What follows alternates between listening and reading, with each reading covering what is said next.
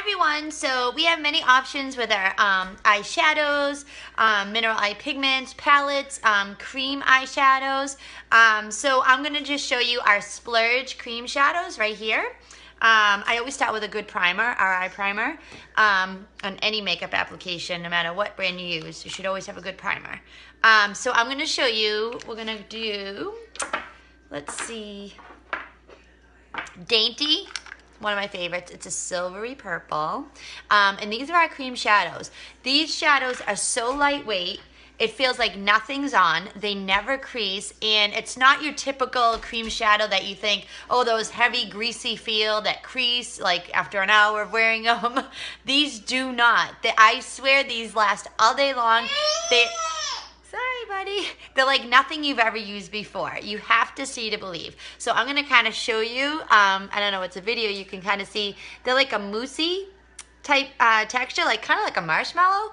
And um, they're so simple. You can use a dense cream shadow brush that we have, um, or any kind of dense brush. You can use your finger. That's how simple these are to apply. And I don't know about you, but I don't have a lot of time, so these cream shadows make it look like you put so much effort into your eye makeup, and it's so simple and easy. Um, so let me just go ahead and just show you on just one side, just for the sake of time. So I'm gonna just uh, put my shadow brush in to the product. You can use your finger or a brush, whatever your preference, and go all over my eyelid, just like this. You don't need much at all. Look at how beautiful that is. Just like this. And if you don't want that definite line, you can just go in with like um, a blending brush and just go back and forth. Just kind of blend the line up so it's not so, you know, harsh. But look at how gorgeous that is. I love this color. This is a great everyday color.